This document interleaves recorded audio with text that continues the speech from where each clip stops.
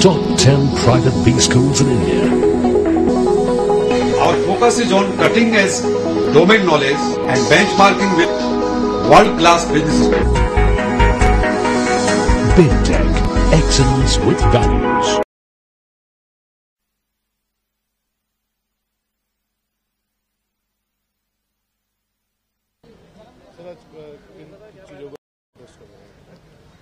आज हम लोग यहाँ पर जो ज्वेलरी की जो एसोसिएशन है, उसकी स्ट्राइक को लेकर बैठे हुए हैं।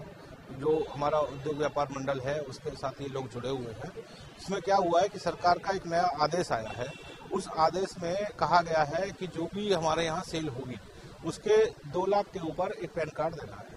अब पैन कार्ड देने में समस्या ये है कि जो हमारे कस्टमर्स हैं वो 60 परसेंट कस्टमर्स ऐसे हैं जो बहुत ही लोअर तबके के हैं। उनका बजट ज़रूर दो लाख से ऊपर का होता है। ना तो उनके पास पैन कार्ड होता है, वो अनपढ़ होते हैं, अज्ञानी होते हैं, ना उनके बैंक अकाउंट हैं, कुछ भी तो उनके पास नहीं होता। है ज़्यादातर हमारे यहाँ लेडीज़ कस्टमर आते हैं लेडीज़ कस्टमर के पास पहले ही पैन कार्ड नहीं होता। तो सरकार से हमारा ये अनुरोध है कि इस जो आपका दो लाख की लिमिट है, इसको दस लाख किया जाए। जिससे कि हम लोगों को जो व्यापार करने में कोई परेशानी उत्पन्न ना हो। और इससे दूसरा ये है कि अगर जरा भी हमारी सेल गिरती है तो इससे उद्योग में पूरे में जो मंदी चली आ रही है, इसमें ये मंदी और बढ़ जाएगी। और मंदी बढ़ने से क्या होगा कि जल्दी जल्दी शोरूम्स बंद होंगे और इससे जो लोग जुड़े हुए हैं जो इसमें और लोग उद्योग में जुड़े हुए हैं जो ज्वेलरी बनाने वाले लोग हैं जो काम करने वाले लोग हैं स्टाफ है उनके ज़रूर जो नौकरी है उस पर खतरा आएगा।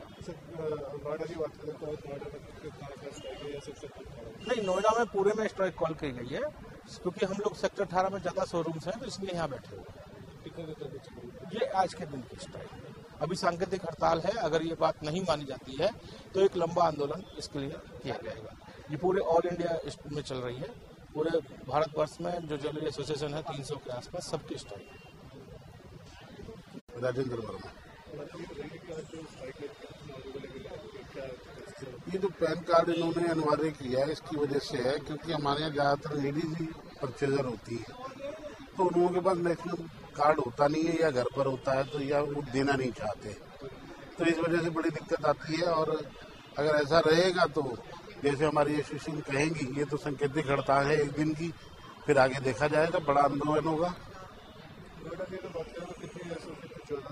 यहाँ पर करीब 400 साढ़े चार सौ ज्वेलर्स और करीब करीब आप समझो आप 800 कारीगर हैं जो स्वर्ण आभूषण बनाते हैं।